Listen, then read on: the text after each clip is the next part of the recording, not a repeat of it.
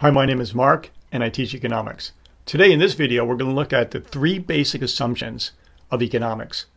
All of economic theory rests on these three assumptions. And they are people are rational, people respond to economic incentives, and optimal decisions are made at the margin. Let's take a look at this people are rational. I, I know, I know a lot of people, this is the first thing they say. It's not true. But in economics, we're talking generally, we're talking in aggregate. For example, people don't drive on the left side hand side of the road unless they're in England or Australia, of course. I believe Australia. So generally, people make rational choices, rational decisions. People make decisions that are in their best interest using information available. Information, sometimes we assume it's perfect. Then in economics, we look at imperfect information. In aggregate, societies rational even if individuals are irrational at times or temporarily so. I mean, who hasn't been in a relationship where the person says, You're insane, you're crazy, you have a problem? And if you haven't had that swung at you, then you haven't been in a relationship. Number two, people respond to economic incentives. Yes, if you know Maslow's hierarchy of needs, there's uh, humans are complexly uh, stratified in their psychological motivations, but at least at the bottom primary uh, motivation uh, tier, economics is a strong motivator. Money doesn't make the world go around, but economics at a primary level, it doesn't. It, you know, it doesn't hurt. It, it gets people to, to work, to do their incentives, to to achieve a goal. This is a homesteader clearing land, creating a field, and growing food for his family to provide. This is an economic incentive he has. He's working. If there was socialism or heavy taxation, he would have an economic disincentive.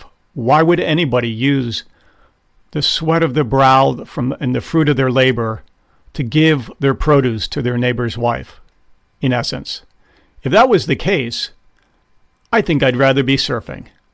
I think I'd rather be polishing my surfboard, shaka baby, hitting the waves. So economic incentives are a very powerful motivator, and economic disincentives are a powerful motivator for doing, let's say, leisurely activities instead of productive activities. Optimal decisions are made at the margin. And this is the of these three basic assumptions. This is the most complex because the first thing people ask me, what what does it mean margin? Margin marginal means just the additional, one more added unit. So each person consciously or unconsciously looks at the marginal benefit and marginal cost of making a choice. If you're getting an additional marginal utility benefit, from one additional unit, you'll continue with that process until MB equals MC, marginal benefit equals marginal cost. That's equilibrium. And this is known as marginal analysis. So the example I like to use is pizza. You think about this pizza, you have the first slice of pizza and it tastes great. You're getting a lot of utility, benefit from that. The second piece doesn't taste as good. Well, it tastes great, but it doesn't taste as good as the first and third, fourth, fifth. So you make a decision based on like if you want to restrict the caloric intake, if you feel full, longer run and short run, your mind is subconsciously calculating at such a rapid pace all these decisions, it's doing marginal analysis. Let's say you stop at two. That means your marginal benefit from the third piece is greater than the uh, or the, the marginal cost of obesity or feeling salted out or not feeling great is greater than the marginal benefit of the satisfaction or utility you get from that taste.